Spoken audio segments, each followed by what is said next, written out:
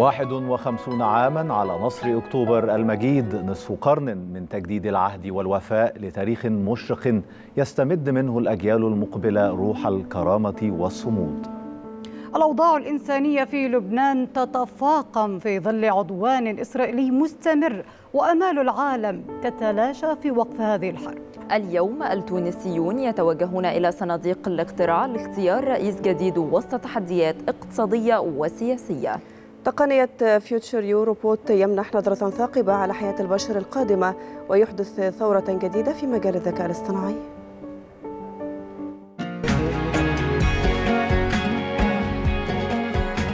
يسعد صباحكم على شاشة القاهرة الإخبارية. حلقة جديدة من صباح جديد في صحبة الزميلات الأعزاء. يعني صباح الفل يا آية ورشا وحبيبة ويا رب يوم جميل علينا كلنا. وهو صراحة النهاردة يوم مش زي أي يوم لأنه بيحمل ذكرى نصر محفور في أذهان العالم العربي نصر السادس من أكتوبر عام 1973 واللي أتى بقرار شجاع من قائد الحرب والسلام الرئيس المصري الراحل محمد أنور السادات ليصدر قراره بالعبور اللي أذهل العالم وحطم أسطورة الجيش الذي لا يقهر. واليوم هي الذكرى الحادية والخمسون لهذا النصر العظيم. حيث سطر فيه الجيش المصري ملحمة عظيمة في التاريخ الحديث. لنحتفل بهذه المناسبة اللي بتمثل يعني خطة أو لحظة فاصلة في تاريخ مصر والوطن العربي. هذه الحرب ليست مجرد معركة عسكرية بل كانت لحظة توحد فيها الشعب والجيش معا لتحقيق النصر. ومن هذا النصر نستلهم دروس لا زلنا في حاجة لها حتى يومنا هذا. رغم اختلاف الزمان فالرصاصة لا تزال في, في, جيبي. في جيبنا كما عنونت المجلة العريقة المصرية روزا يوسف في آخر إصداراتها. صحيح يا جاد وحرب أكتوبر ما كانتش مجرد مواجهة عسكرية كانت في درس كبير جدا في التحدي والإصرار في التخطيط في الاستعداد الجيد. وقدر الشعب المصري وجيشه الباسل إن هو يسطر ملحمة وطنية لا تتكرر إلا نادرا في التاريخ المعاصر. قدم كل مصري أو كل مصري الغالي والنفيس سواء بالروح أو الجسد والمال وأيضا والدعاء لاسترداد أرض سيناء وإعادة أيضا الكرامة وطرد العدو الإسرائيلي. صحيح يا آية مع كل ذكرى لحرب السادس من أكتوبر بنتذكر دماء الشهداء الطاهرة التي سالت على أرض سيناء الحبيبة والتي استعادها المصريون بعد مفاوضات سياسية تدرس في كل جامعات العالم في فن التفاوض وهو ما يجعلنا أمام حرب لم تحقق مكاسب عسكرية فقط بالعبور للضفة الأخرى من قناة السويس. ولكن كان هناك مكاسب سياسية لم تتوقعها النخبة السياسية في دولة الاحتلال نفسها. ليعيد المفاوض المصري أرض سيناء كاملة لأحضان مصر. ويتم أيضا رفع العلم المصري على كل المواقع التي كانت محتلة قبل معارك أكتوبر. يعتبر حبيبة يبقى الأثر في هذه الحرب وطبعا مشاهدينا هذا أبلغ وصف يمكن أن نتحدث بها عن حرب أكتوبر. تأثيرها لم يتوقف منذ 51 عام فقط بل لا زال التأثير حاضرا حتى اليوم. فمن هذا التاريخ تغيرت المعادلات السياسية والدبلوماسية أيضا في عالم كبير يتحدى بعضه البعض. وعرف العالم قوة وصلابة الجندي المصري الذي حطم كل الأساطير التي رسمها العدو عن نفسه. وأيضا كسر قواعد الحروب التي كان متعارف عليها.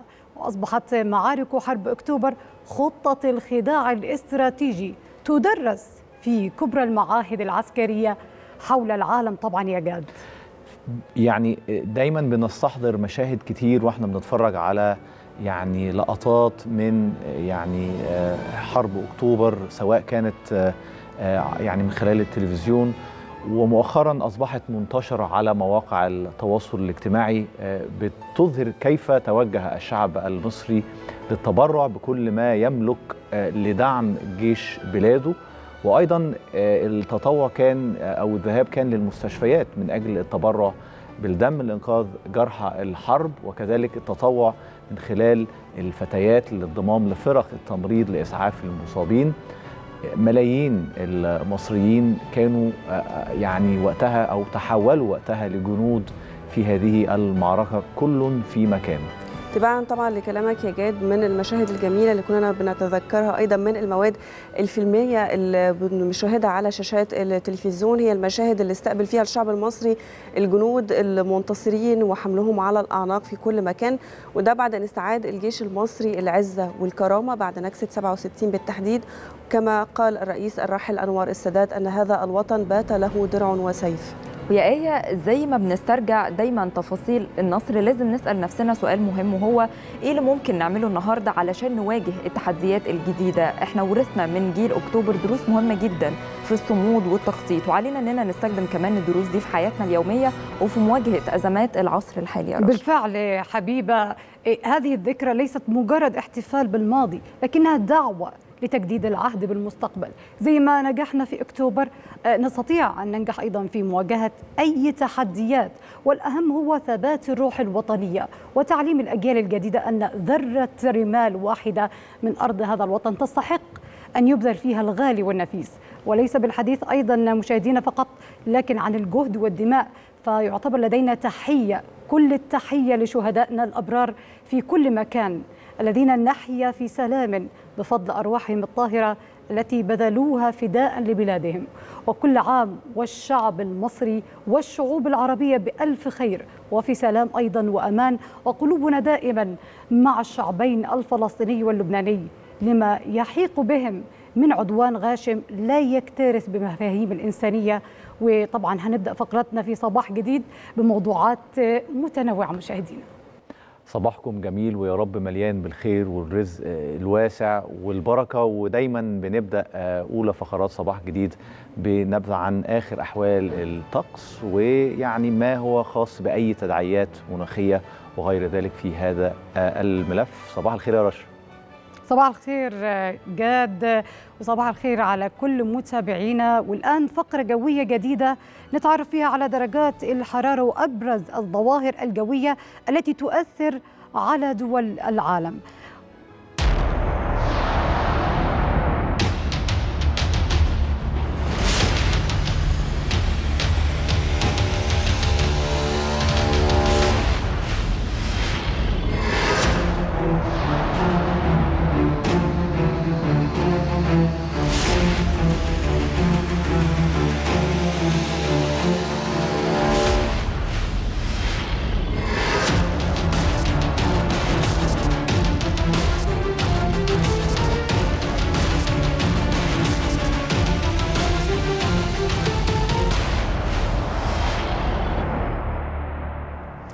مشاهدينا استمرار حالة عدم الاستقرار في درجات الحرارة مع بدايات فصل هذا الخريف حيث تشهد بعض البلدان انخفاضا تدريجيا في درجات الحرارة. ونبدأ فقرتنا الجوية من حالة الطقس في عدد من العواصم العربية. وبداية من هذه العواصم تشهد القاهرة طقسا حارا نهارا ولطيفا ليلا وتصل درجات الحرارة. يعتبر مشاهدينا نتابع الطقس الآن. يتابع الطقس في القاهرة العظمى تصل ل 32 والصغرى تصل إلى 20 أما في الرياض تشهد ارتفاعا في درجات الحرارة حيث تصل العظمى إلى 38 وأيضا الصغرى 25 وفي أبو ظبي التي تشهد طقسا حارا فتكون درجة الحرارة العظمى 34 والصغرى 29 وأيضا في تونس تشهد طقسا غائما وغير مستقر وتبلغ درجة الحرارة العظمى 29 والصغرى 19 وأخيرا الرباط وتشهد درجات الحرارة العظمى 27 والصغرى 18 ويكون الطقس غائما. أما عن درجات الحرارة في العواصم الغير عربية في البداية من لندن التي تشهد طقس ممطرا وتكون درجات الحرارة العظمى 16 والصغرى 11 أما في باريس فتصل درجة الحرارة العظمى إلى 17 والصغرى إلى 14 ويكون الطقس مصحوبا بسحب خفيفة.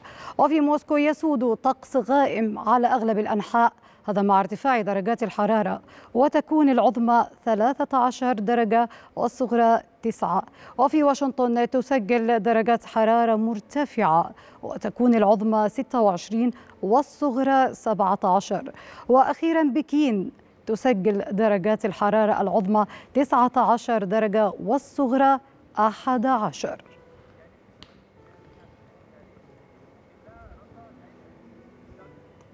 مشاهدينا من درجات الحرارة ننتقل إلى الولايات المتحدة الأمريكية حيث ضرب إعصار هيلين الساحل الشمالي أو جنوبي الشرقي للولايات المتحدة مسبب في فيضانات هائلة. هذا في عدة ولايات.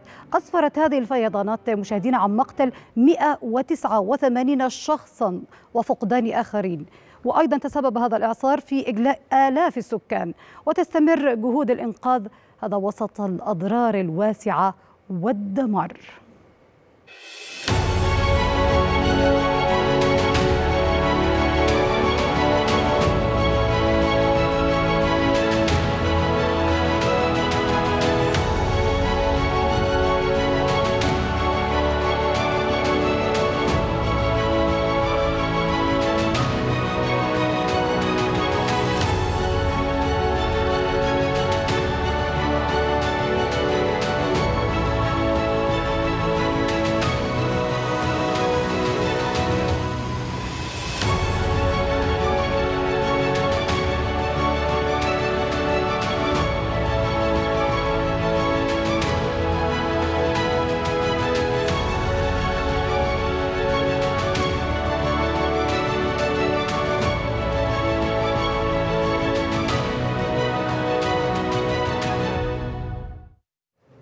دلوقتي موعدنا مع جولة جديدة في عالم الصحافة. هنتعرف من خلالها على أبرز ما تناولته الصحف ووكالة الأنباء العربية والدولية.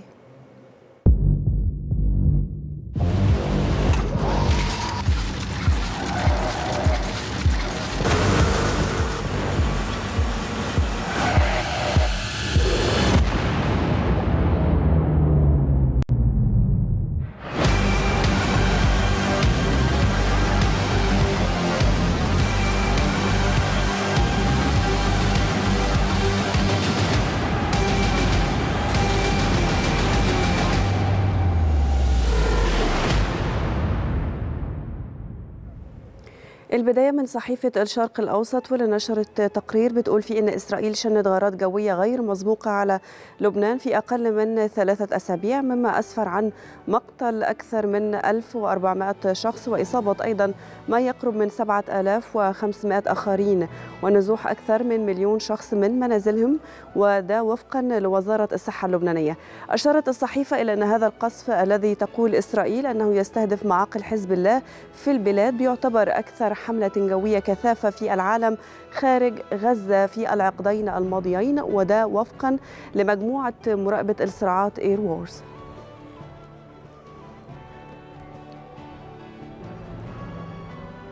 صحيفة النهار اللبنانية ندت فيها مفوض الأمم المتحدة السامي لشؤون اللاجئين فيليبو جراندي لدى وصوله إلى بيروت بما يواجه لبنان من أزمة مروعة وده بعد فرار مئات الآلاف من منازلهم على وقع الغارات الإسرائيلية الكثيفة على مناطق عدة في البلاد. قال جراندي إن لبنان يواجه أزمة مروعة حيث مئات الآلاف من الأشخاص باتوا معدمين أو مشردين بسبب الغارات الجوية الإسرائيلية مضيفا أنه جاء إلى بيروت تضامنا مع المتضررين لدعم الجهود الإنسانية ولطلب مزيد من المساعدة الدولية.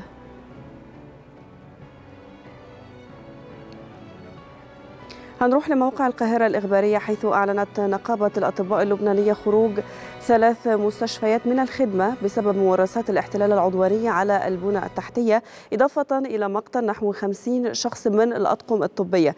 قالت النقابة إن جرائم الاحتلال بحق الجهاز الطبي تخرق مواثيق الأمم المتحدة وتناقض أيضا بنود اتفاقية جنيف لافتة إلى أن الجرائم التي يمارسها الجيش الإسرائيلي بحق الجرحى والأطباء والقطاع الصحي بتستدعي تدخل عاجل.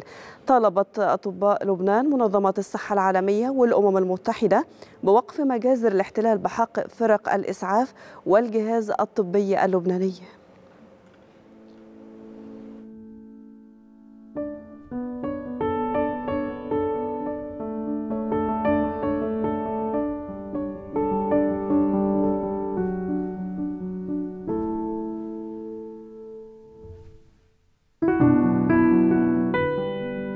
وللمزيد بينضم إلينا من جنيف السفير الدكتور هيثم أبو سعيد الممثل الرئيسي لبعثة المجلس الدولي لحقوق الإنسان إلى الأمم المتحدة في جنيف. صباح الخير دكتور هيثم معنا في صباح جديد. وبداية كيف ترى تصاعد وحدة الضربات الجوية الأخيرة في لبنان اللي بتنتهك كل القوانين الدولية الخاصة بحقوق الإنسان؟ وبرأيك لماذا لا يكترث الاحتلال بكل المناشدات الدولية لوقف هذا القصف المستمر سواء في لبنان أو في غزة؟ نعم صباح الخير لك ولكل المشاهدين. طبعا المشهد مأساوي جدا الحالات الإنسانية مزرية آه العالم في الطرقات مشتتة ليس هناك من مأوى لكل النازحين. الوضع الصحي حتى سيء جدا. وهنا بالمناسبة دعيني أصحح ما قلته في آه المداخلات يعني منذ قليل. حول الصحف التي قالت أن هناك ثلاث مستشفيات، لا الحقيقة هناك أربع مستشفيات خارج الخدمة وليس ثلاث. هذا أولا، أما لماذا تقوم إسرائيل بهذا الأمر؟ يعني هذا يعود إلى فشل القيادة الإسرائيلية السياسية والعسكرية في تحقيق إنجازات منذ حوالي السنة حتى اليوم. هذا الأمر بالنسبة للقيادة السياسية وتحديدا رئيس حكومة إسرائيل نتنياهو هذا خطير جدا لأنه هذا سيعكس على وضعه الشخصي تجاه الحكومة، تجاه الشعب، تجاه القانون الذي هو أيضا مطارد من خلاله، لا تنسى أن هناك محكمتين أصدرتا أحكام بحق إسرائيل وقادة إسرائيل ألا وهي العدل الدولية والجنائية الدولية، هناك طلب من المدعي العام بتوقيف حكومة إسرائيل ووزير الدفاع جالنت. فبالتالي كل هذه الأعمال التي نراها ونشهدها اليوم من خلال هذا الاعتداء السافر على اللبنانيين في الجنوب وفي كل المناطق وليس فقط في الجنوب اللبناني. اليوم القصف يطال عدد كبير جدا من المدن اللبنانيه في مختلف المحافظات. وبالتالي كل هذا باعتقادنا هو لعدم تحقيق أي أي نتيجة ميدانية. وهناك أيضا الهروب إلى الأمام لجهه هو يحاول أن يشتري الوقت حتى لا يدخل في البازار والسجال القانوني المحلي في إسرائيل والدولي. مع وضوح أكثر من مليون شخص دكتور هيثم أبرز التحديات الإنسانية برأيك اللي بيواجهها لبنان الآن وكيف يمكن للمجتمع الدولي تقديم دور أكبر الآن؟ يعني هناك دور يقوم به المجتمع الدولي على المستوى الإنساني، هناك مساعدات تصل إلى لبنان هي مساعدات مهمة جدا. المطلوب قد يكون أكثر من ذلك ولكن حتى الآن يمكن الاستعانة بهذه المساعدات على وعسى ان على وعلى أن لا يعني تستمر هذه المأساة لأنه استمرار هذه المأساة هذا يعني استنزاف أيضا في كل المجتمعات سواء كانت المحلية والدولية. وهذا أيضا يطيل من الأزمة الإنسانية الحاصلة اليوم في في لبنان وفي غزة. ومن يدري يعني حتى رأينا أن هناك استهدافات عسكرية لسوريا وهناك تهديدات من قبل القيادة الإسرائيلية أنها تريد أن تتوسع أكثر إلى اليمن بشكل مباشر وإلى العراق حتى. فهذا لن يستثني حتى يمكن دول أخرى حسب ما نسمع ونرى في بيانات القيادة الإسرائيلية. دكتور هيثم يعني حضرتك وضحت لنا بأنه حتى الآن خروج أربع مستشفيات عن الخدمة الطبية هل يمكن لنا أيضا أن توضح الانتهاكات اللي تعرض لها الطاقم الطبي البنى التحتية الطبية وما هي أيضا الخطوات القانونية الدولية التي يمكن اتخاذها الآن؟ نعم. هناك تعرض سافر للمسعفين في الميدان وهذا أيضا يعود إلى نية اسرائيل قتل عدد كبير كبير من المدنيين. عندما تمنع الطواقم الطبية أن تصل إلى الأماكن التي قصفتها من الجو أو من البحر حتى يقوموا بواجبهم الطبي. فهذا أمر جد مهم هناك حتى نقص في المواد الطبية في داخل المستشفيات. بدأنا يعني نسمع بعض الأصوات فإذا ما استمرت هذه الحرب الغير متكافئه إذا أردت فهذا سيزيد من هذه المعاناة الطبية مزيد من المأساة. حتى اللحظه دكتور هيثم كيف تقيم استجابة المنظمات الحقوقية الدولية حتى الآن وما الذي يمكن أيضا فعله لضمان محاسبة المسؤولين عن الدمار وخسائر الأرواح في لبنان؟ اولا سأبدأ من هنا محاسبة الدمار البشري والحجري هذا له إطار آخر أعتقد أنه الدولة اللبنانية يمكن أن تعد ملفها بشكل كامل وأن تتقدم بشكوى خارج الشكاوى التقليدية التي تقوم بها الدول وهذا أمر سيتم معالجته مع الحكومة لاحقا. أما ما قامت به المنظمات الحقوقية حتى الآن هي تقوم بأكمل الواجب المناط لها وفق دساتيرها ووفق عملها المعتمد داخل الأمم المتحدة.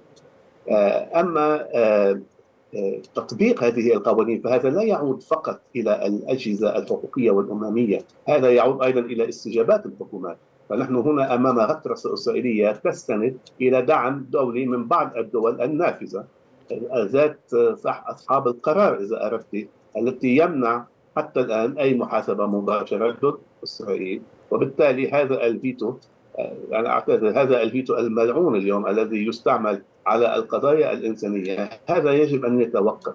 هذا ما تسعى إليه اليوم أعتقد الأمم المتحدة وتحديدا الأمين العام للأمم المتحدة السيد أنطونيو جوتيريش والمفوض السامي لحقوق الإنسان السيد فولكر وحتى اللاجئين المفوض اللاجئين السيد فيليبو جراندي الذي أيضا يعاني في الميادين. وأعتقد أنتم يعني طرحتم معاناة المنظمة وبالتالي كل هذه المآسي تعكس سلبا على الأداء الميداني للمنظمات الحقوقية والانسانيه. السفير الدكتور هيثم أبو سعيد الممثل الرئيسي لبعثة المجلس الدولي لحقوق الإنسان إلى الأمم المتحدة في جنيف شكرا جزيلا لوجود حضرتك معنا.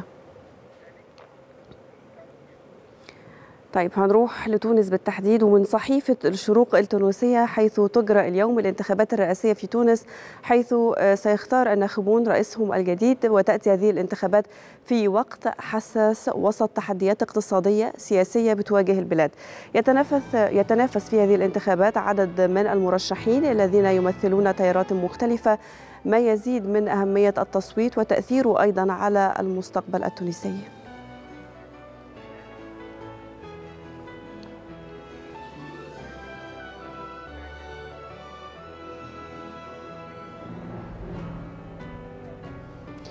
وللمزيد حول الانتخابات التونسية بتنضم إلينا نسرين رمضاني مراسلة القاهرة الإخبارية صباح جديد عليك نسرين ولو تطلعينا أو تنقلي لنا الأجواء في البداية لديك قبل بدء التصويت وهل هناك أي قلق من قبل الناخبين بشأن المرشحين؟ صباح الخير عليكم جميعا.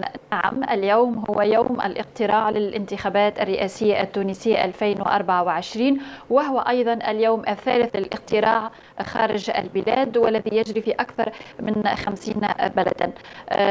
اليوم تبدأ فتح أبواب أو مكاتب الاقتراع بعد حوالي ساعة ونصف من الآن يعني على تمام الساعة الثامنة صباحا بالتوقيت المحلي وتغلق مكاتب الاقتراع على الساعة السادسة مساء بالتوقيت المحلي. ليس هناك مكاتب اقتراع تفتح بصفة استثنائية على عكس محطات انتخابية سابقة نظرا لأن طبعا الأوضاع هنا فيما يتعلق بالطقس وكلها مناسبة لكي تفتح يعني أبواب الاقتراع في نفس التوقيت بدون توقيت استثنائي. هناك حوالي خمسة أو أكثر من خمسة آلاف مركز اقتراع في كامل البلاد وهناك يعني أكثر من 9 ملايين ناخب مسجل يعني مسجل اسمه في السجل الانتخابي نظرا لأن تم اعتماد منذ فتره لطريقة التسجيل الآلي في السجل السجل الانتخابي وبالتالي الآن يتضمن هذا السجل أكثر من 9 ملايين ناخب.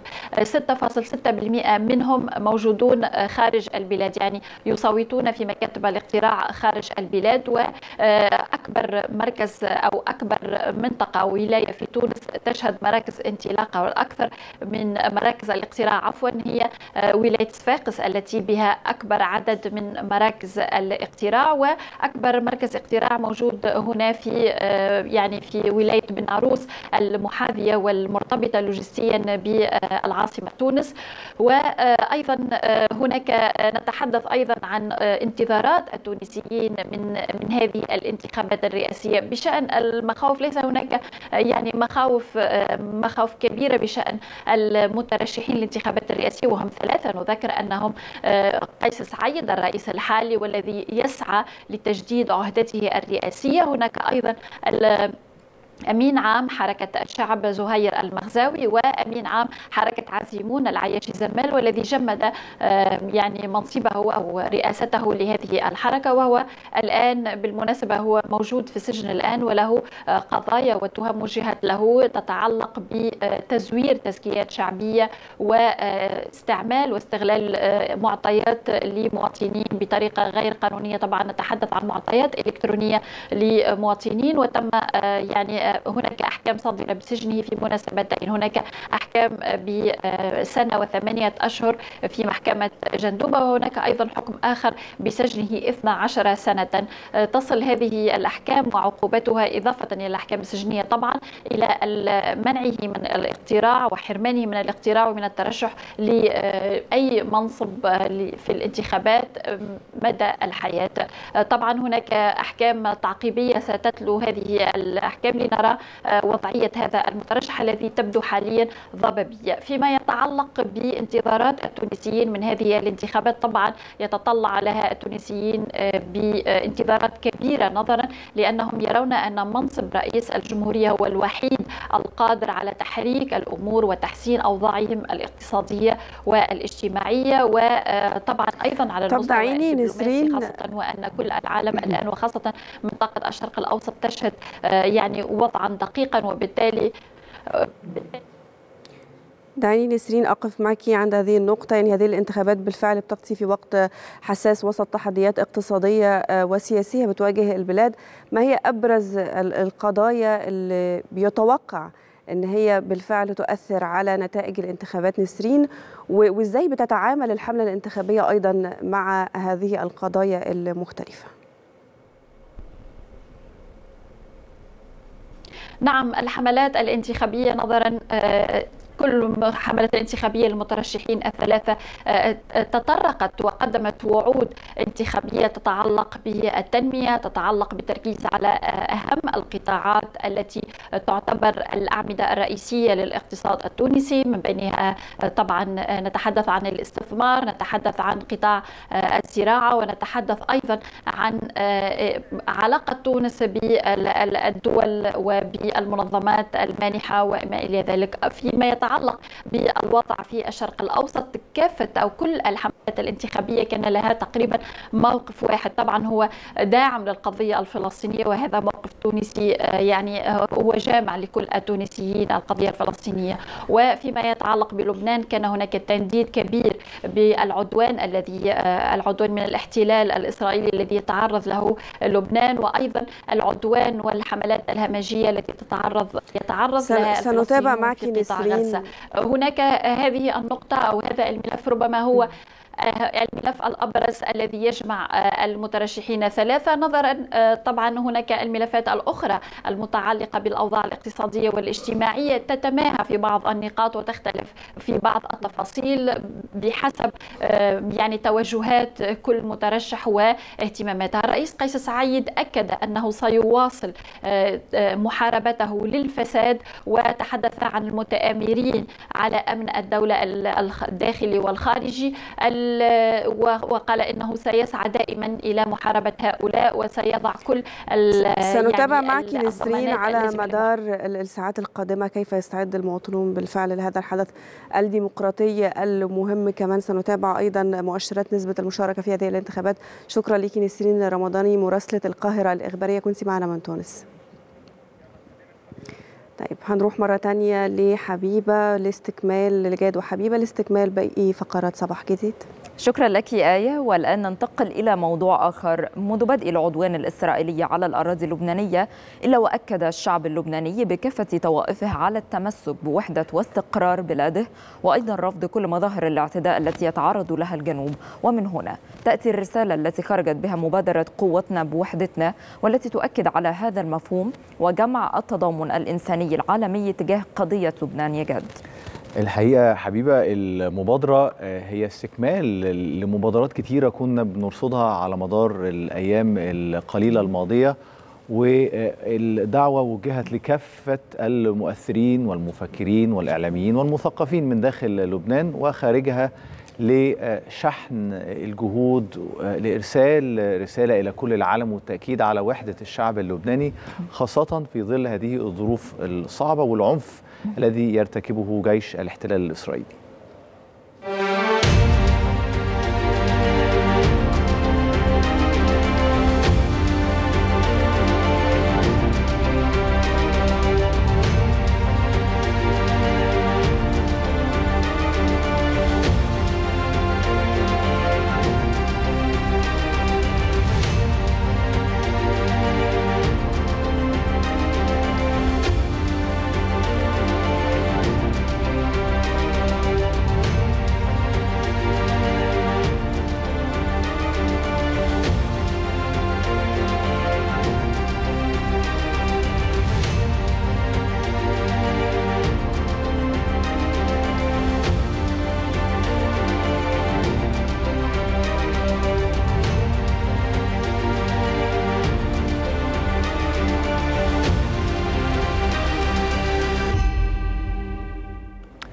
للمزيد حول هذه المبادرة. الطيبة مبادرة قوتنا بوحدتنا تنضم لنا من بيروت الدكتورة ماريز يونس أستاذ علم الاجتماع ومؤسسة هذه المبادرة. صباح الخير يا دكتور.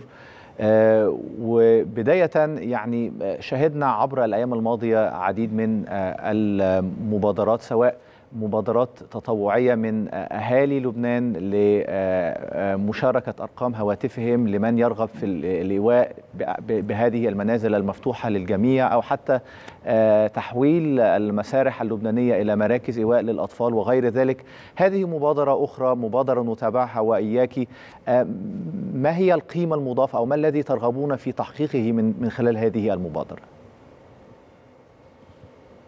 صباح الخير و بداية بدي أترحم على شهدائنا بالوطن وأتمنى الشفاء العاجل للجرحى. بالضبط مثل ما تفضلت وذكرت هي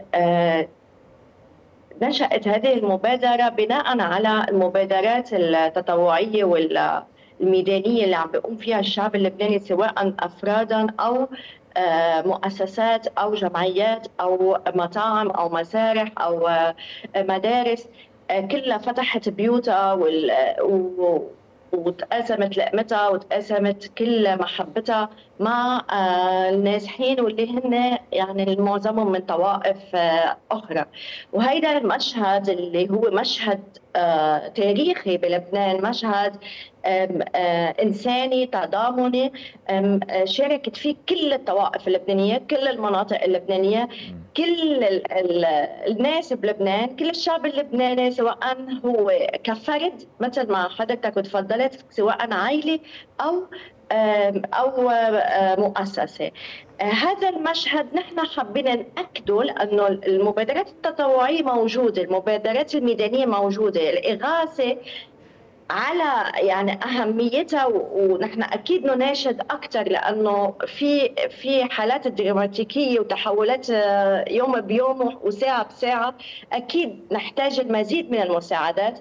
بس كمان الموضوع الوحدة اللي هي أساس نحن أساس مشكلتنا بلبنان اللي هي أساس طموحنا وأحلامنا كلها اليوم بتوقف عند إنه نتوحد واللي اليوم عم بيجسدوا الشعب اللبناني فنحن باعتبارنا شبكة دولية لدراسة المجتمعات العربية اللي بتضم أكثر من 90 مركز بحثي ومؤسسة علمية وجمعيه ومخبر بحثي وأكاديمية حول العالم مش بس بالعالم العربي كمان دولي اللي بيدرسوا المجتمعات العربية من مفكرين ومن أكاديميين ومن باحثين حتى انضمت لنا مؤسسات إعلامية واليوم أنا بتشكر القناة الإخبارية على هذا التبني ونشر هذه الصورة الذي يستحق الشعب اللبناني بتضامن الإنساني اليوم وأيضا تلفزيون الغد وأيضا تلفزيون مريم وأيضا كل القنوات الإعلامية اليوم وبكرة أوربت كل القنوات الإعلامية تساهم في رسالة توعوية القيمة المضافة هي أننا نصنع رسالة وطنية موحدة إنسانية توعوية فكرية إلى جانب المبادرات الإغاثية المهمة جدا. نحن نريد أن, أن نظهر هذا المشهد من الميدان ونظهر أبطال لبنان Heroes of Lebanon. لأنه بالفعل لما يكون في تنوع بلبنان وطوائف أخرى هي عم تفتح بيوتها وهي عم تفتح قلوبها هذا يعني أن الشعب اللبناني رغم كل المآسي وكل الحروب وكل ما يتعرض له من عدوان وحشي قاتل نعم. مسم همجي هم لا يزال لا تزال الإرادة تصنع روايات جديدة عن الشعب اللبناني تصنع صمودا اليوم كما ذكرت دكتورة مريز وضع إنساني صعب بيتعرض له اللبنانيون خاصة في الجنوب بعد خروج مستشفيات عن الخدمة وسقوط مئات من الضحايا من المدنيين ما هو المطلوب من المجتمع الدولي من وجهة نظرك؟ يعني المجتمع الدولي المجتمع الدولي زميلنا اليوم كان عم يحكي من ضيف من منذ قليل عن لماذا تستمر إسرائيل بهذا بهذه المحرقة وهذه الإبادة؟ الجواب ليس فقط لأنهم لم يحققوا أهداف إنما أيضا لأن هناك صمت وتواطؤ دولي. العالم كله العالم كله يتواطأ مع هذه ال هذه ال المحرقة مع هذه ال الآلة الآلة الغاشمة الآلة العدوانية التي دولة بعد دولة وأرض بعد أرض تنتهكه ولا تنتهك إلا المدنيين. هذا الصمت الدولي اليوم ماذا ماذا نناشد؟ ماذا نناشد؟ أي مجتمع دولي؟ ما شفنا بغزة واليوم الدور على لبنان وبكرة بالعالم العربي وغدا بالعالم الأوروبي وغدا بالعالم كله إذا لا لا يقف القانون فوق لاسرائيل، القانون هو الذي يحمي والقانون هو القوانين كلها مع المجتمع الدولي يجب المجتمع الدولي أن يضع القانون فوق أي دولة تخضع إسرائيل وغيرها لكل القانون الدولي وإلا لا معنى للقانون الدولي ولا معنى نحن كمفكرين أو كجماعة علمية أكاديمية ان أن ندرس هذا القانون الدولي هيدي البروباغندا اللي كثير صرنا زمان نحن بنسمع عنها وبندرسها لطلابنا، اليوم سقطت سقط كل المواثيق الدولية وكل حتى الجمعيات حتى المنظمات الدولية، نحن شاركنا كثير بمنظمات دولية كرمال طفل أما اليوم يباد الطفل يباد الطفل ولا نستطيع ان أن ننقذه بعده تحت الارقام ولا الركام ولا حتى اي أي منظمه اليوم المنظمة الدولية لإنقاذ الطفل.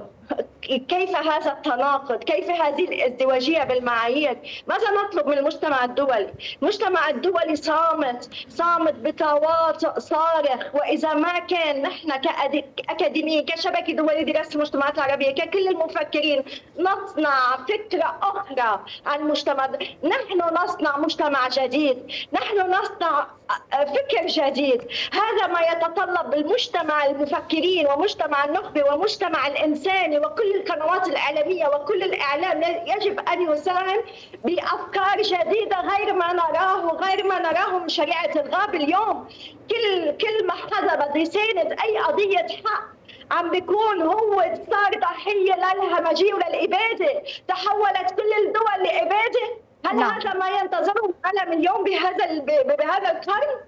بعد ان ان أن تغنينا بحقوق الإنسان بعد ان أن شهدنا الديمقراطية بعد أن شهدنا كل القوانين الدولية التي المفترض أن تحمينا ما نعم. ننتظر من المجتمع الدولي. نحن لا ننتظر شيء. نحن اليوم بلبنان ننتظر وحدتنا. ننتظر أن نتوحد. كلنا نعم. كشعب لبناني لإنقاذ بلدنا وأرضنا. لبنان المشترك اللي بيجمعنا. وما معنا حدا هيدي الحقيقة. نعم بشكرك. شكرا جزيلا دكتورة ماريز يونس على كل هذه التفاصيل ويعني صوتك ورسالتك وصلت لنا بشكل واضح. شكرا جزيلا لك. هنروح لفقرة أخرى تكنولوجية جديدة للتعرف على آخر مستجدات هذا القطاع حول العالم.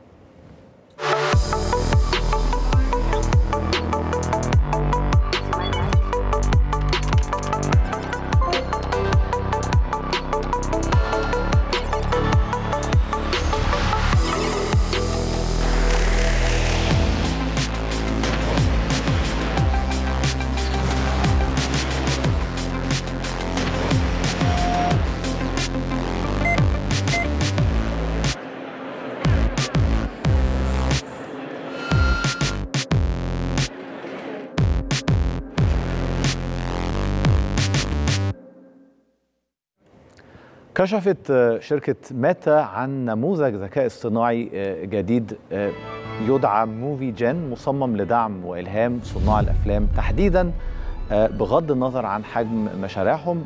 هذا النموذج بيستخدم أو بيعتمد على تقنية التحويل النصي إلى فيديو فيقوم بتحويل النصوص إلى مقاطع فيديو مع صوت. و Movie Gen ليس مجرد نموذج واحد بل مجموعة من النماذج الأساسية التي تعمل معا مع التركيز على تقنية تحويل النص إلى فيديو. بيتم إنتاج الصوت ليتوافق مع الموضوع المحدد لهذا الفيديو.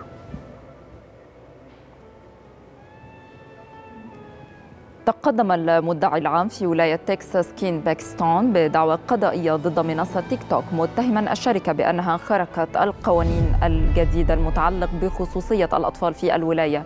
وتعد هذه الدعوة أول اختبار لقانون حماية الأطفال عبر الإنترنت في تكساس والذي دخل حيز التنفيذ قبل نحو شهر. ويهدف إلى تعزيز دور الأهل في حماية خصوصة أبنائهم أثناء استخدام الإنترنت.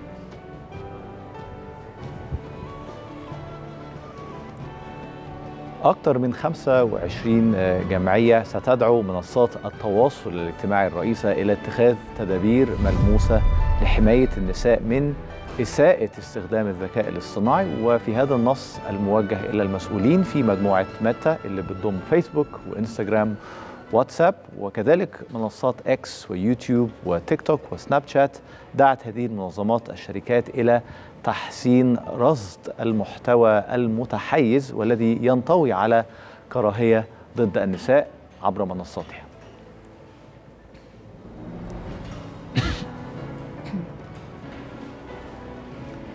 أكدت منصة يوتيوب أنها أصلحت خطأ تقنيا تسبب بإزالة آلاف الحسابات والقنوات إذ صنفت تلك الحسابات بنحو غير صحيح على أنها تنشر محتوى احتياليا أو رسائل غير مرغوب فيها بدأت المشكلة عندما اشتكى مستخدمون عاديون غير منشئي محتوى ومنهم أصحاب الاشتراكات المأجورة من فقدانهم الوصول إلى محتوى يوتيوب.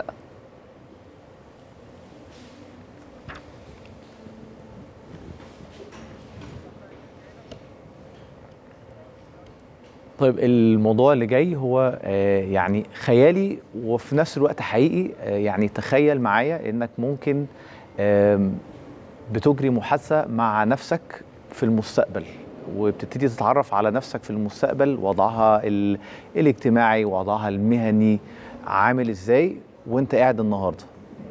وكمان تكتشف منها مسارات الحياة المحتملة. وكمان ممكن تتلقى التوجيه بشأن القرارات طويلة الأجل. كل ده مش خيال بل أصبح حقيقة من خلال تقنية ذكاء اصطناعي جديدة اسمها فيوتشر يو أو أنت في المستقبل. بتمنح المستخدمين خدمة جديدة بالتعرف على ملامح مستقبلهم. حقيقة يعني شيء صادم ومبهر. يعني يا جاد التكنولوجيا دي صممت لأداة ذكية لسد الفجوة بين الذات الحالية والمستقبلية اللي ممكن تساعد المستخدمين على تواصل مع ذواتهم المستقبلية وتعزيز عملية اتخاذ القرار والحد من القلق بشأن ما ينتظرهم.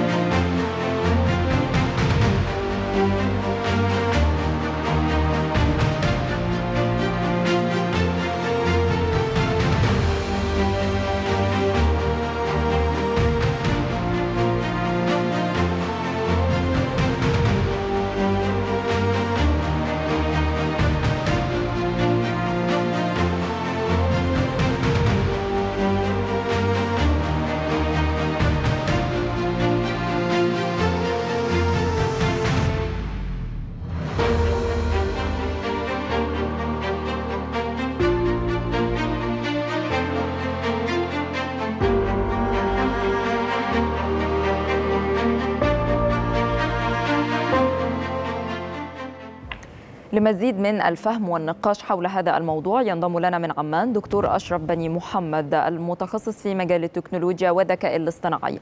أهلا بحضرتك دكتور أشرف يعني صباح الخير. بداية إيه هي الآلية اللي بتعمل بها تقنية Future You؟ وكيف تتمكن من إنشاء حوارات معقولة مع المستخدمين؟ صباح الخير عليك وعلى جميع المشاهدين.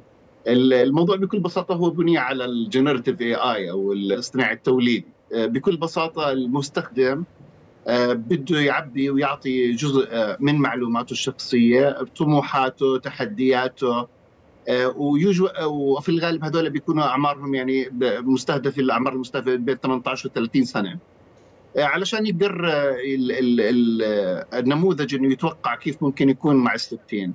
وحتى بيولد له صورة يعني صورة كيف بيكون شكله حتى على على عمر الستين. فهو بكل بساطة بيعتمد على مجموعة من النماذج خلينا نحكي اللي هي بسموها ال large language models بالإضافة ل خلينا نحكي مجموعة من الأدوات الإحصائية أو المعادلات الإحصائية. اللي زي ما إحنا بنتوقع فيها مثلا على سبيل المثال كيف أنا إذا بوفر اليوم مبلغ معين من المال كيف بده يصير بالمستقبل. بالإضافة للمعلومات الشخصية اللي اللي بيأخذها من المستخدم وبيكون في حوار بينه وبين المستخدم علشان يقدر يحكي ويولد النسخه الأخرى منه في المستقبل. بتشمل إيش بيحب إيش بيكره عائلته هل هو متزوج هل يطمح بمثلا إنه يصبح مليونير أو بده يصير عنده مبلغ معين من المال. وبناء على المعادلات هاي بناء على ال large language models هدول بيصير في خلينا نحكي والخبرات الموجودة اوريدي اللي صارت مع الناس خلينا نحكي بيعتمد على بيانات كم كبير من البيانات كيف تطوروا الناس. وبناء على ذلك بيتم خلينا نحكي تخصيص بحوار ما هو المتوقع أو ماذا ممكن أن يتوقع في المستقبل. طيب يعني والله يا دكتور اللي بتقوله ده يعني هو ما زال ضرب من الخيال لأن أنا بحاول بس أ أ يعني أ أفهم أبعاد ال ال الحكاية. الفكرة كلها إنه مثلا يعني هو بيعتمد على إن أنا لازم أغذيه الأول بمعلومات شخصية خاصة بيا علشان يعني لو السؤال الدارج لما بتروح تعمل انترفيو بيسألك شايف نفسك فين بعد خمس سنين فهو هيقدر. يجاوب لنا على السؤال ده يعني ما بيقدر يجاوب لنا 100% بس م. إذا بتشوف كمان يعني بالإضافة لهذا السؤال المهم اللي تفضلت فيه يعني آه هو الفكرة فيه إنه قديش أنا بقدر أعرف عنك بيانات وقديش بقدر أساعدك بالتخطيط للمستقبل ما بعرف إذا بتعرف حضرتك شفت كثير في انفلونسرز بيوقفوا الناس بالشارع بيحكوا له يعني سؤال إذا كنت شو بتعطي نصيحة لحالك قبل 30 سنة أو لما كنت عمرك مثلا 20 هاي النصائح تجمع أيضا وتدخل في نموذج نموذج البناء. بكل بساطة مرة ثانية إذا اليوم أنا بدي أخطط على سبيل المثال يكون معي بعد 20 سنة أو لنفرض مثلا 10 مليون فكيف ممكن أوصل لهذا الهدف؟ فهو بيمشي بالعملية العكسية لها كيف ممكن أنت تنمو وتتطور في شغلك؟ ما هو المستقبل؟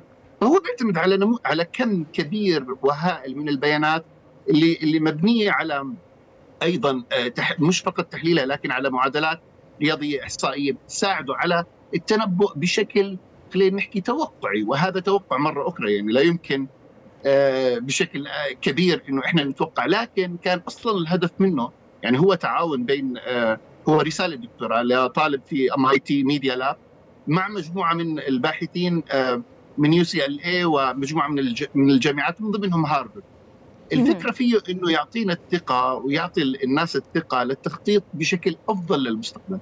ولا يمكن أن يتوقع 100% ماذا يمكن أن يحدث في المستقبل لكن بيعطي هم عملوا دراسة على تقريبا 355 شخص جربوا هذا هذه الأداة. دكتور أشرف آه كنت لسه بتكلم آه أنا وجاد إنه الموضوع ده جنوني ومبهر جدا. يعني إزاي ممكن يأثر ده على صحة المستخدمين نفسيا؟ يعني اللي جربوا زي ما تفضلتي حضرتك يعني اللي اللي جربوهم عليهم يعني اللي اللي استخدموا هذا النظام آه يعني تقريبا 355 هذول كان انطباع أكثر من 79% منهم كثير يعني مرتاحين أكثر لتخطيطهم للمستقبل ورؤيتهم للمستقبل. فهو أداة سايكولوجيكال مهمة. وزي ما إحنا بنحب إن نشوف كيف ممكن يكون شكلنا بالمستقبل كيف ممكن ماذا نتوقع في المستقبل؟ هذه الأداة بتساعدنا يكون في عندنا ثقة أكبر في تخطيطنا للمستقبل.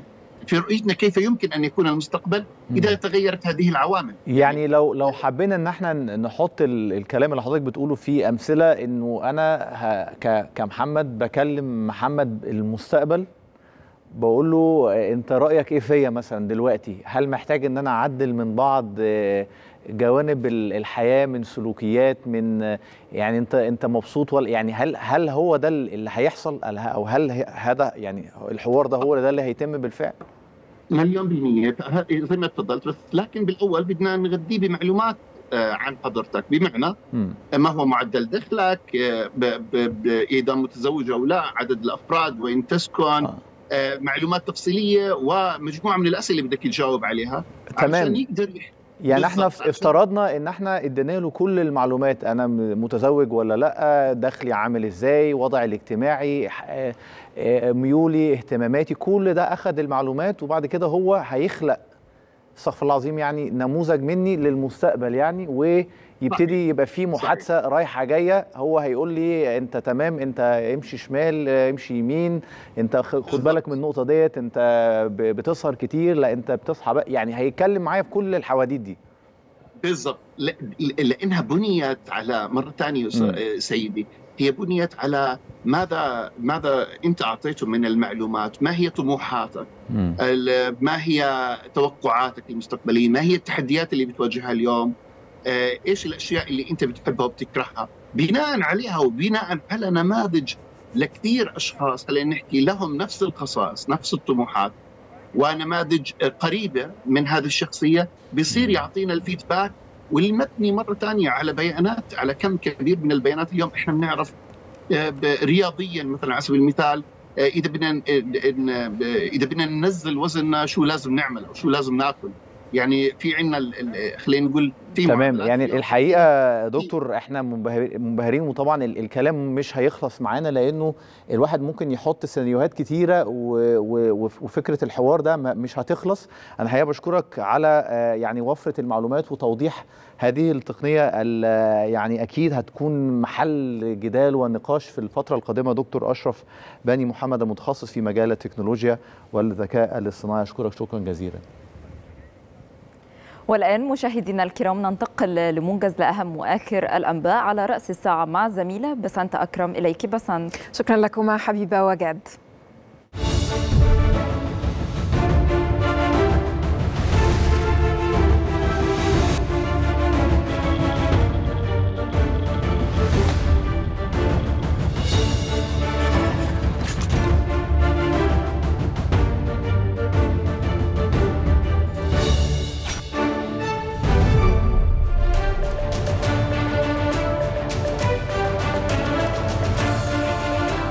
موجز لأهم وآخر الأخبار من القاهرة الإخبارية. أهلا بكم.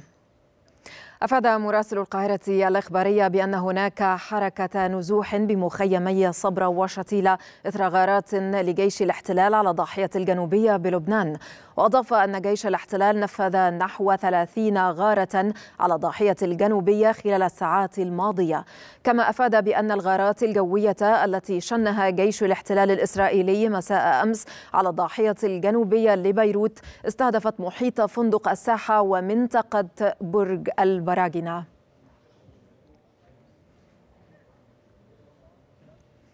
أكد حزب الله في بيان استهدافه فجر اليوم تجمعات لجنود الاحتلال الإسرائيلي في مستوطنة المنارة ومحيطها بالجليل الأعلى وهذا شمال إسرائيل برشقة صاروخية كبيرة لافتا إلى أنه أصابها إصابة دقيقة.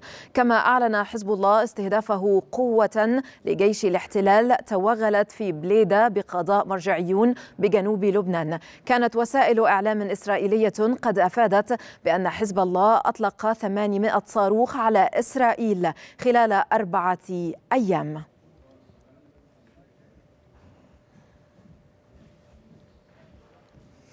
أشارت وسائل إعلام إسرائيلية إلى إطلاق وابل من 60 قذيفة صاروخية على كريات شمونة شمال إسرائيل وأوضحت أن صفارات الإنذار دوت بمستوطنات لم يتم إخلاؤها في الجليل الأعلى.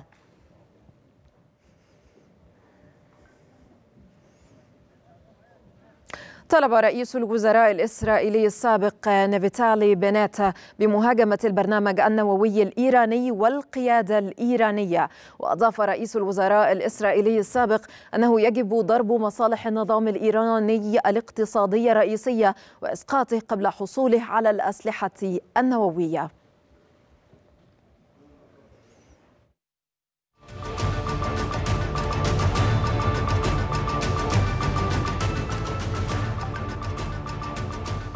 استشهد 24 فلسطينيا وأصيب العشرات جراء قصف لجيش الاحتلال لمسجد يؤوي نازحين أمام بوابة مستشفى شهداء الأقصى في دير البلح وسط قطاع غزة. من جانبه ادعى جيش الاحتلال أن الغارة استهدفت مركزا للقيادة تابع لحماس بدير البلح.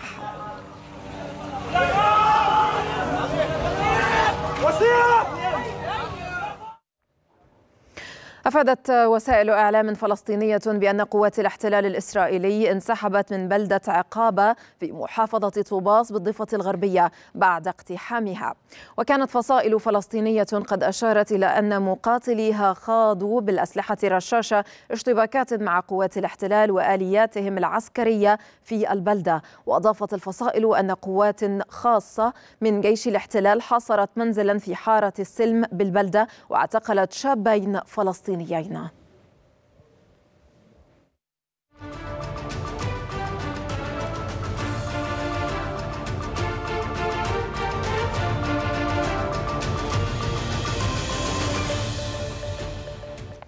يدلي نحو عشرة ملايين ناخب في تونس بأصواتهم اليوم في الانتخابات الرئاسية التونسية ويتنافس في الانتخابات الرئاسية ثلاثة مرشحين من بينهم الرئيس المنتهي ولاية قيس سعيد.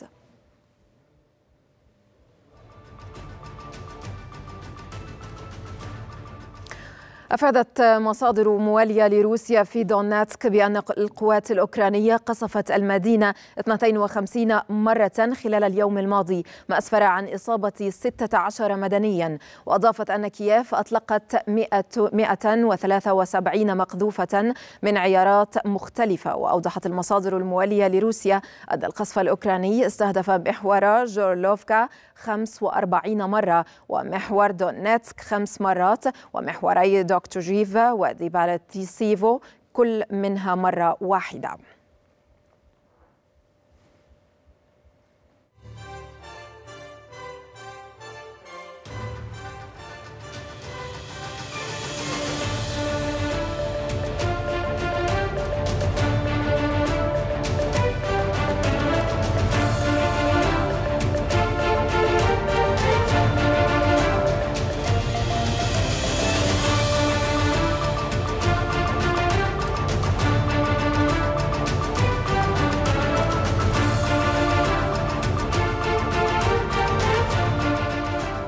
انتهى الموجز مشاهدينا وأعود مرة أخرى إلى الزميلة آية لاستكمال باقي فقرات صباح جديد. إلى هناك.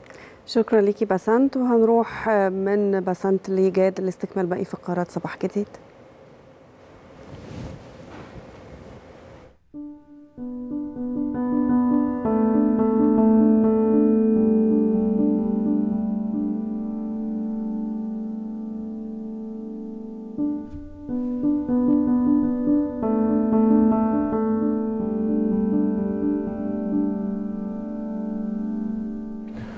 شكرا. آية والآن جولة في ملاعب العالم ومتابعة لأهم الأحداث في فقرة رياضية جديدة.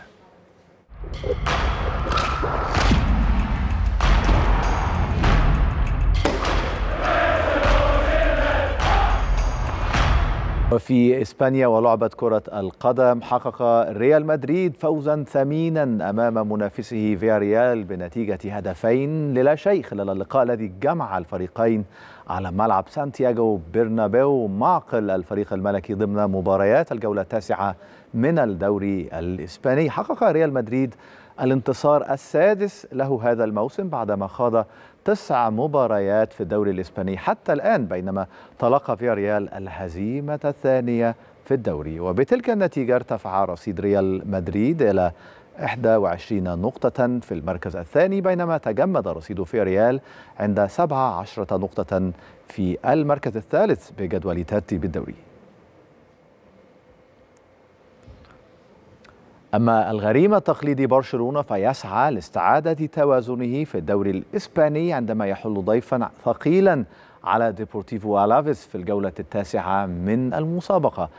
كان برشلونة قد تلقى أول هزيمة له في الدوري في الجولة الماضية عقب خسارته أمام أوساسونا بأربعة أهداف مقابل هدفين.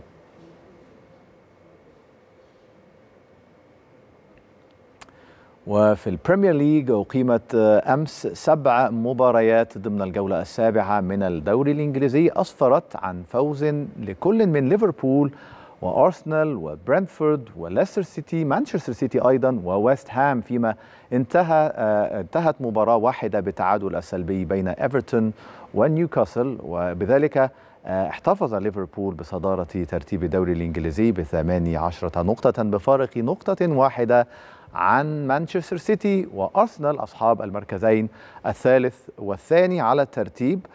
سنس يعني دائما ما تلحق هذه الجولات بتصاعد وهبوط بعض الأندية وبعض الفرق كما نتابع وأيضا تألق كبير للنجم المصري محمد صلاح في المسابقات المختلفة.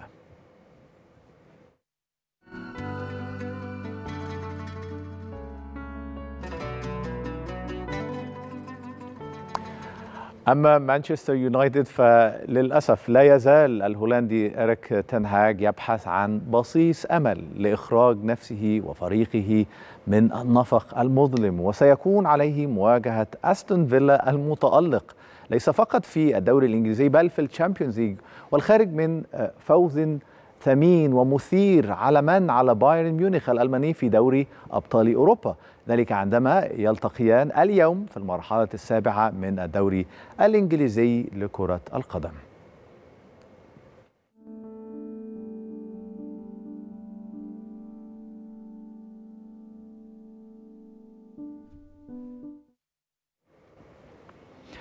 إذا يسعى بايرن ميونخ المتصدر إلى استعادة توازنه عندما يحل ضيفا على وصيفه أينتراخت فرانكفورت الذي شكل عقدة له في المواسم الأخيرة في لقاء قوي لقاء قمة يوصف ضمن المرحلة السادسة من بطولة ألمانيا في كرة القدم.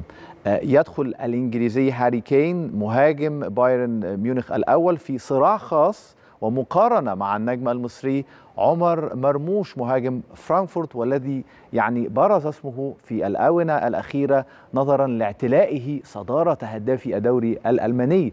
أصبح مرموش هذا اللاعب المصري وواحد من أهم نجوم المنتخب المصري أحد أهم عناصر نادي فرانكفورت ينجح في تسجيل ستة أهداف في هذه البطولة في أول خمس جولات فقط من الدوري الألماني يتصدر ترتيب الهدافين حاليا ومن خلفه يأتي هاري كين برصيد خمسة أهداف.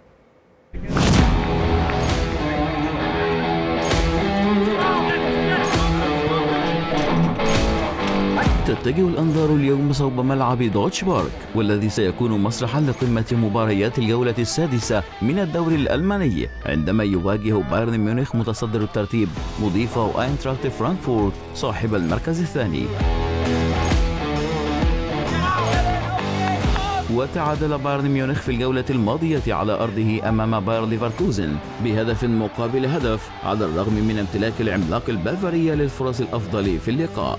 وبعد السقوط الأوروبي الأخير أمام أستون فيلا بهدف دون رد. يحتاج البايرن للرد ولا توجد فرصة أفضل من مواجهة اليوم في ظل السجل التاريخي المميز الذي يتمتع به العملاق البافاري.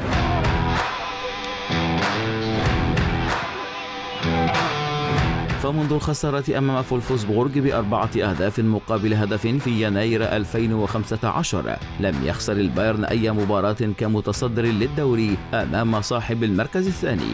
وخاض البافاري في تلك الحالة 17 لقاء منذ ذلك الحين. حقق خلالها الانتصار في 11 وتعادل في ستة.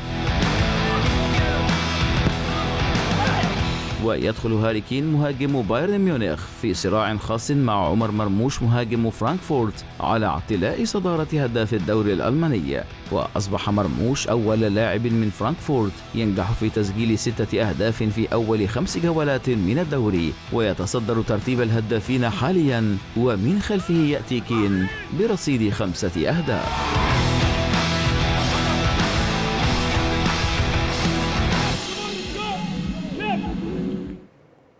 يعني عمر مرموش أصبح حديث الكرة الألمانية في الفترة الأخيرة ويعني برز اسمه نظرا لهذا المردود القوي لنادي فرانكفورت وتصدره يعني هدافي البطولة البوندسليغا سنتحدث قليلا أكيد عن عمر مرموش وصعوده بقوة صاروخ من لندن. ينضم لنا المحلل الرياضي الكابتن ياسر الشنواني. نصبح عليه صباح الفل يا كابتن.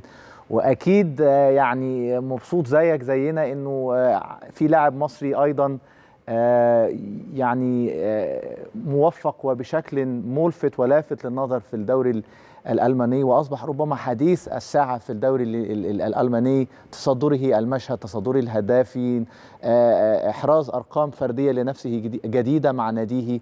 كل هذا ربما يعطي زخم أكثر لهذه المباراة المرتقبة أمام بايرن ميونخ والمقارنة أصبحت الآن بين عمر مرموش وهاري كين. صباح الخير على حضرتك صباح الخير على السادة المشاهدين.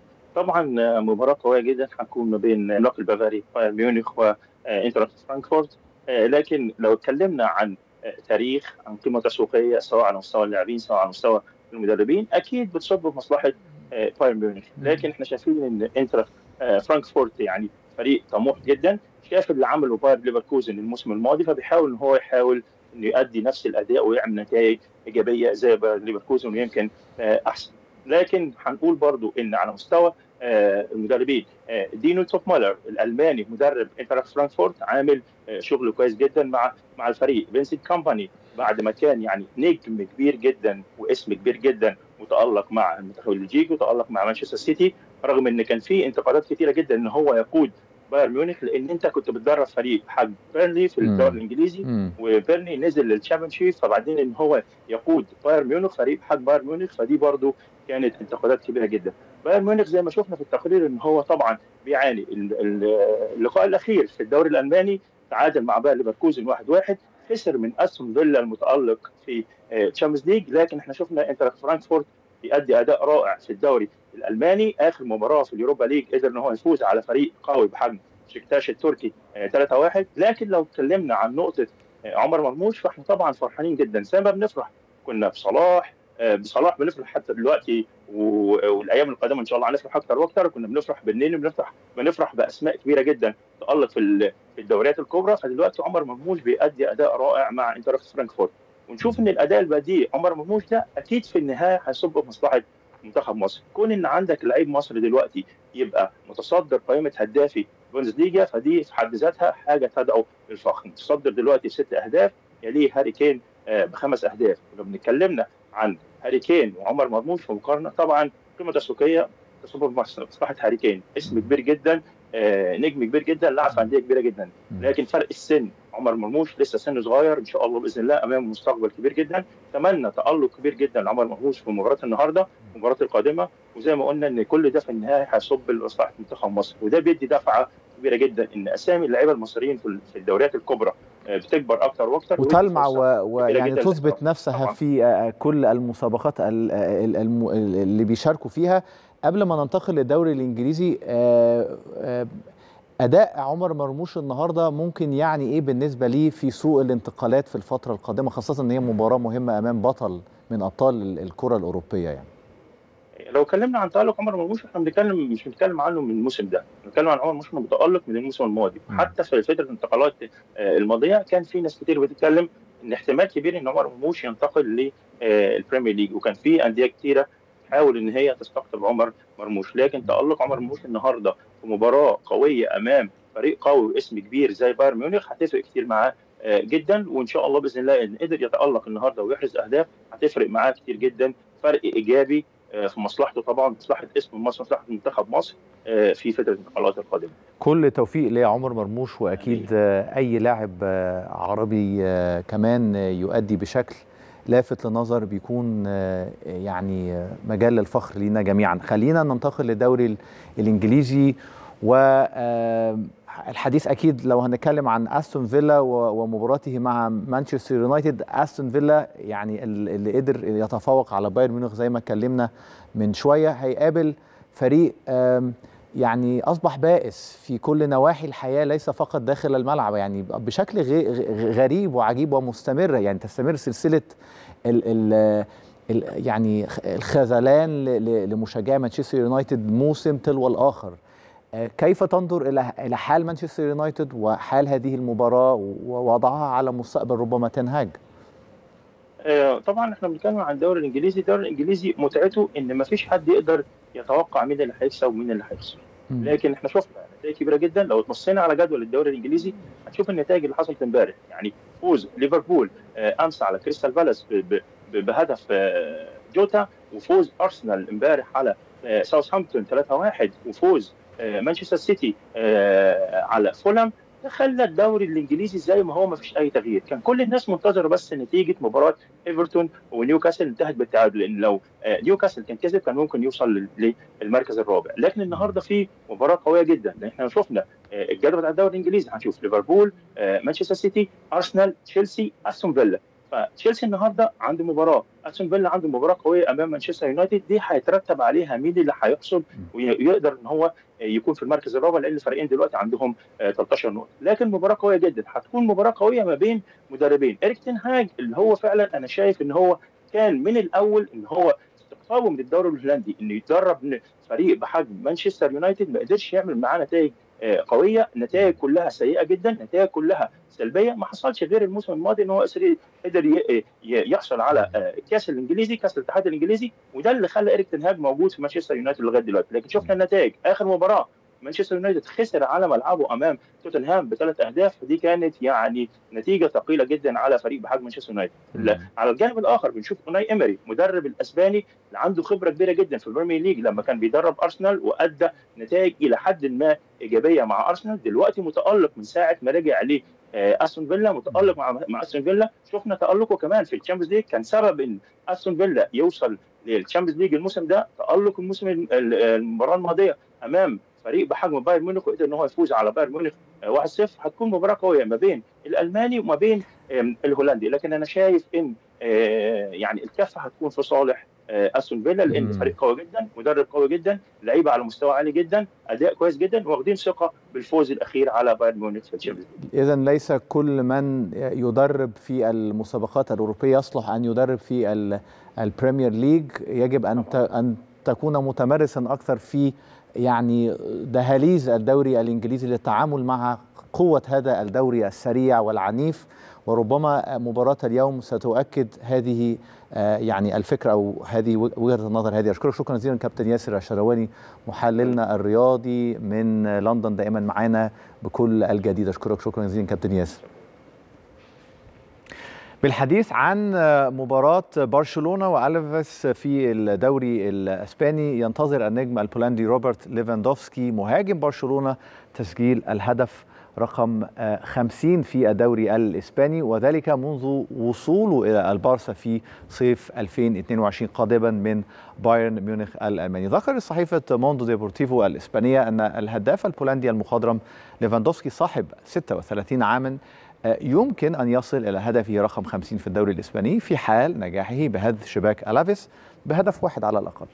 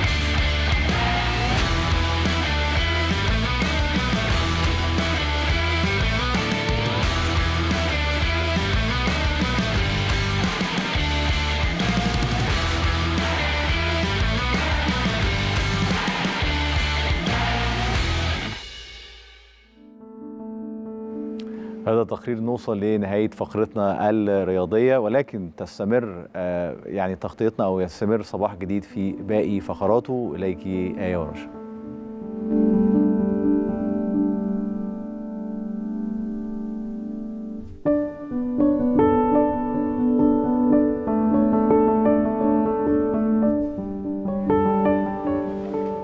شكرا جاد. وهنروح دلوقتي لحديثنا عن ذكرى نصر أكتوبر العظيم ولكن من الزاوية الفنية. لعب الفن طبعا دور كبير في حرب أكتوبر وده من خلال تجسيد فرحة نصر أكتوبر وبث الحماس في نفوس المواطنين وقدر كمان إنه ينقل تفاصيل أحداث العبور والانتصار وفرحة الجنود وتضحياتهم المختلفة. يعتبر أي الفن المصري قدم العديد من الأعمال السينمائية والدرامية وأيضا الغنائية بتجسد روح الحرب ونصر أكتوبر في هذا الأيام وفي تحقيق النصر في كل عام. كما قامت طبعا الشركة المتحدة في إنتاج العديد من الاعمال الدرامية والسينمائية التي تجسد بطولات القوات المسلحة.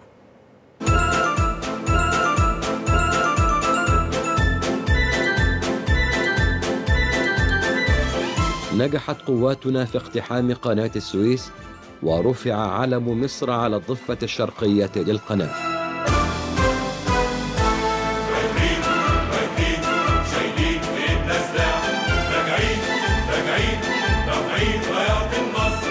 لعب الفن المصري بكافة أنواعه الغنائية والسينمائية والدرامية دورا كبيرا في تجسيد انتصار أكتوبر المجيد حيث أصبح جزءا لا يتجزأ من المكتبة الفنية المصرية والعربية.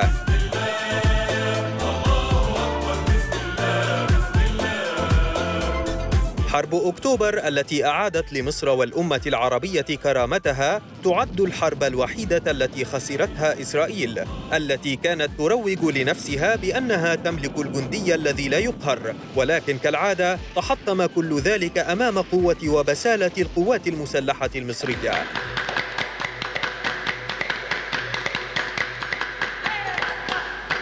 الدراما المصرية لم تكن بعيدة عن توثيق وتخليد تلك البطولات فتسابق العديد من صناع الدراما لإنتاج أعمال تبرز الدور الوطني والتضحيات الجليلة التي قام بها العديد من الأبطال المصريين فداء لوطنهم. ومن أبرزها أفلام الرصاصة لا تزال في جيبي وأبناء الصمت وحتى آخر العمر والعمر لحظة. أنا معايا شهادة تمريض ومن حق بلدي عليا إني أشترك في معركة. ده واجب يا فندم ما تحرمنيش منه. هي عملية القمر الناجحة دي أنا شخصيا بعتبرها مش أكتر من تدريب عملي بالدم. على اقتحام إحدى دشم خط برلين. كما حققت الأفلام السينمائية والأعمال الدرامية التي تجسد الصراع الاستخباراتي بين مصر وإسرائيل نجاحا لافتا مثل رأفة الهجان ودموع في عيون وقحة. ونجحت الشركة المتحدة من خلال عدد من الأعمال السينمائية والدرامية في تجسيد بطولات الجيش المصري مثل فيلم الممر والذي يعتبر فرصة كبيرة للأجيال الجديدة أن تتعرف على بطولات الجيش المصري.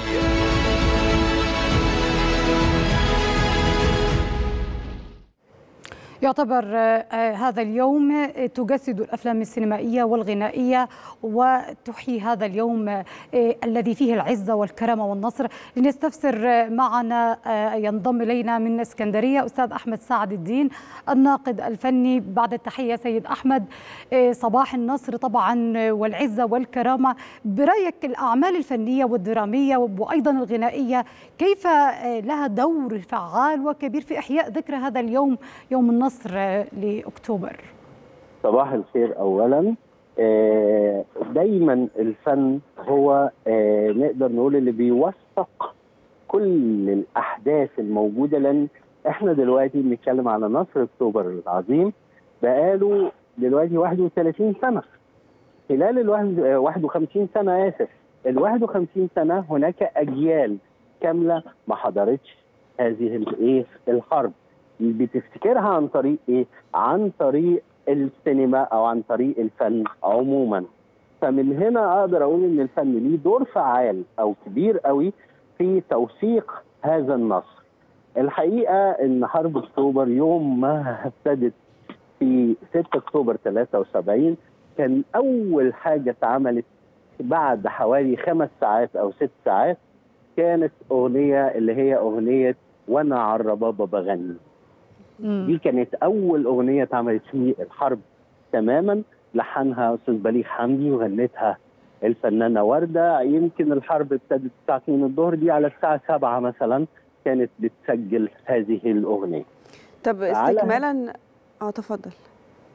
اتفضلي استكمالا طيب آه، سيد أحمد للأعمال سواء الغنائية السينمائية أو الدرامي- الدرامية حتى اللي قدمت فعلا رؤية فنية مميزة ومختلفة آه، حول آه، نصر أكتوبر وإزاي ساهمت بالفعل في تعزيز الروح الوطنية في هذا الوقت؟ طبعا ال- ال- السينما ساعدت بشكل أو الفن عموما سواء سينما أو مسرح أو أغنية لأن ساعتها التلفزيون كان لسه يعني هياخد وقت. كل ده ساهم بشكل كبير جدا في رفع الروح المعنوية إذكاء هذه الروح. في نفس الوقت نقدر نقول إن هو كان بيواليهم بالأخبار لحظة بلحظة. يعني أنا أذكر إن أستاذ عبد الغفار عود عليه رحمة الله كان عنده مسرحية اسمها شدي حيلك يا بلد.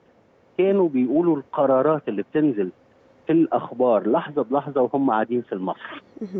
يعني بيوقفوا المسرحية ويقولوا القرارات إيه اللي حصل. قطع البترول آه الحاجات من دي. بالإضافة إن ما ننساش للفن دور مهم جدا في الشحن المعنوي قبل حرب أكتوبر. ودي كانت مرحلة صعبة جدا اللي هي مرحلة حرب الاستنزاف ثم قبل 10 رمضان على طول. وبعدها كان طبعا الفن آه، قدم أعمال كثيره منها فيلم الرصاصه لا تزال في جيبي العمر لحظه بدور آه، الوفاء العظيم وهكذا. يعتبر سيد أحمد فعلا الفن هو يحيي هذه الذكرى والجيل الجديد كما ذكرت أنه يعني يتناسى يوم كهذا فالفنانين والأفلام والدراما والغناء هو تشحن روح الوطنية آه، في هذا اليوم. لكن هل تعتقد أستاذ أحمد أن يساهم هذا الفن في تشكيل رواية تاريخية آه، لحرب أكتوبر؟ آه، يعني كيف يمكن أن إحنا نتعامل مع آه، الفنانين آه، في حقائق تاريخية بشكل فيه أكثر مسؤولية؟ هو طبعا آه، يمكن الأفلام اللي اتعملت كانت معظمها أفلام روائية فيها مشاهد حربية. ولكن إحنا طالبنا أكتر من مرة إن يكون في أفلام حربية اللي هي بتعبر عن المعارك بشكل صحيح يعني كما هي. وعلى فكرة ات- اتصنع أكتر من فيلم عن قصص حقيقية سواء من ملفات المخابرات ال- العامة زي فيلم صعود للهاويه زي فيلم إعدام ميت. ثم بعد كده آه، ابتدينا نذكر الناس زي ما حصل في فيلم الممر في 2019 إن إيه بنذكر الناس بإيه اللي حصل وهنعمل إيه. هنا بقى الفن عنده مهمة كبيرة جدا اللي هي تشكيل وجدان الشباب الجدد. اللي ما حضروش ولسه عندهم الحالة مشوشة لا إحنا بنقدم لكم قصص حقيقية وبطولات حقيقية بحيث إن أنتوا تعرفوا تاريخ بلدكم عن طريق الفن. يعتبر أستاذ أحمد كما ذكرت الفن دوره هام جدا لشحن الروح الوطنية وإحياء هذا اليوم آه، بطريقة يعني تلمس القلوب. على كل سنتابع الأعمال الفنية القادمة التي تحيي ذكرى آه، هذا اليوم العظيم. أشكرك كنت معي أستاذ أحمد سعد الدين الناقد الفني. كنت معنا من الإسكندرية. لسه مستمرين معاكم في فقراتنا اليوم ابقوا معنا.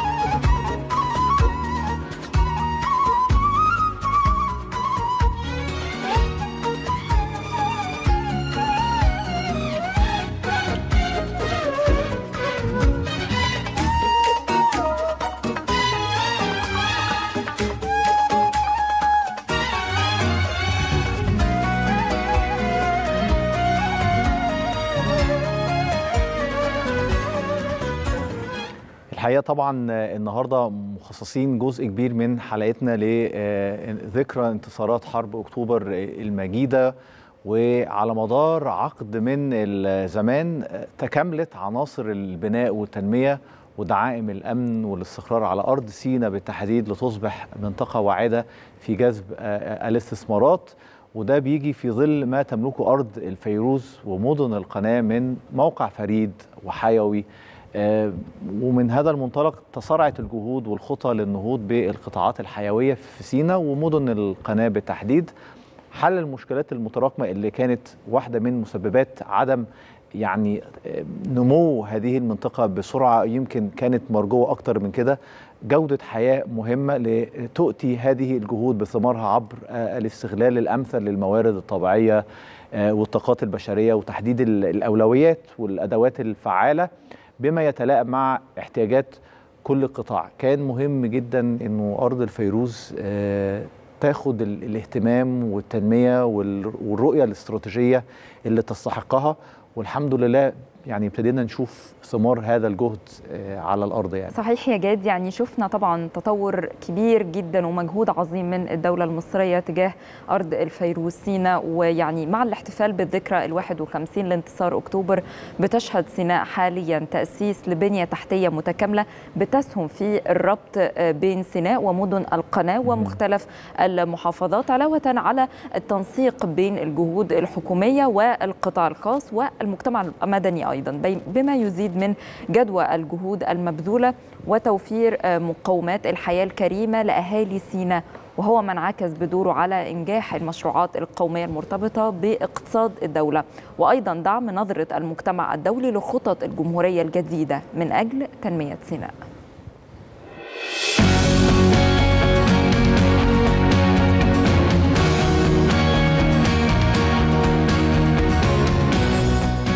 سيناء تلك الأرض المقدسة التي كانت شاهدة على الانتصارات في أوقات الحرب وارتوت أرضها بدماء الشهداء في حرب السادس من أكتوبر 1973 هي الآن شاهدة على التنمية الشاملة. بعدما استردت مصر أرضها بدماء رجال القوات المسلحة وتضحية الشهداء منهم دخلت مرحلة السلام من منطق القوة لتبدأ بعدها معركة أخرى هي معركة البناء حاملة شعار سيناء العبور الجديد. فالقوات المسلحة التي انتصرت في الحرب الآن تقف ذراعا قويا للدولة لتنفيذ مخططات الإعمار والبناء في سيناء. الدولة المصرية أنفقت خلال العشر سنوات الماضية ما يزيد عن 750 مليار جنيه. على مشروعات التنمية في سيناء وزاد إجمالي الاستثمارات العامة الموجهة للمنطقة بنحو عشر أضعاف لتصل إلى 58 مليارا و800 مليون جنيه. العام المالي 2023 2024 مقارنة بخمسة مليارات وتسعمائة مليون جنيه. عام 2013 2014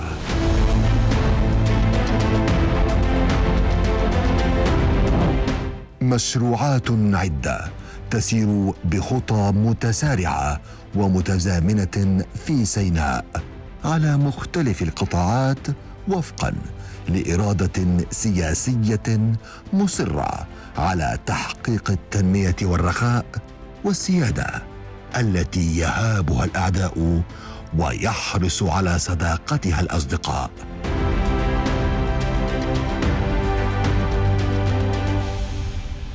بطولات تتوارثها الأجيال وتضحيات يقدمها المصريون في سيناء. من معركة التحرير من المحتل الإسرائيلي إلى معركة التطهير من الإرهابيين. إلى معركة البناء والتعمير.